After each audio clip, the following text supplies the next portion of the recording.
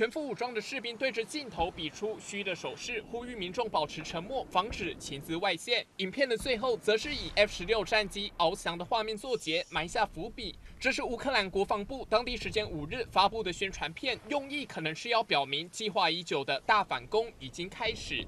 4 июня противник предпринял безуспешную попытку крупномасштабного наступления на южнодонецком направлении. Со стороны вооруженных сил Украины было задействовано 6 механизированных и 2 танковых батальона.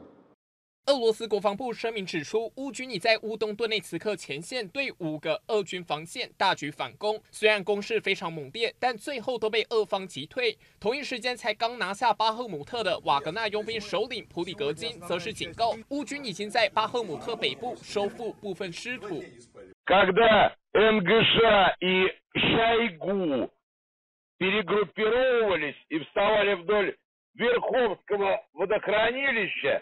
Они говорили о том, что это для того, чтобы защитить населенный пункт Берховка, потому что очень выгодные позиции.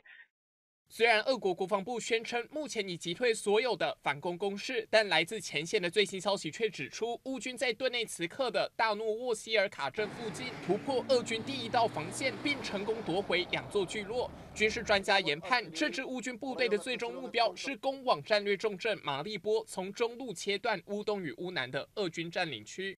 Перше, я вдячний кожному нашому воїну, усім нашим захисникам, Нашим захисницям. які дали за цей день саме ті новини, які ми очікуємо.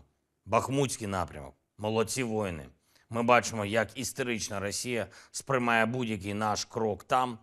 乌克兰总统泽伦斯基大战前线部队在顿内茨克与巴赫姆特斩获连连。在此之后，美国军事分析家也认同乌军大反攻已经展开的说法。他们认为乌军目前所发起的攻势还只是试探性攻击，想找出俄军防线的弱点。另外，俄军四号、五号的战况报告都提及乌军出现更大部队调动，显现基辅已经开始将西方现代武器和北约协训的部队投入作战。环宇新闻谢中月综合报道。请订阅、按赞、分享华语新闻 YouTube 频道，并开启小铃铛，及时掌握全球时事与最新趋势。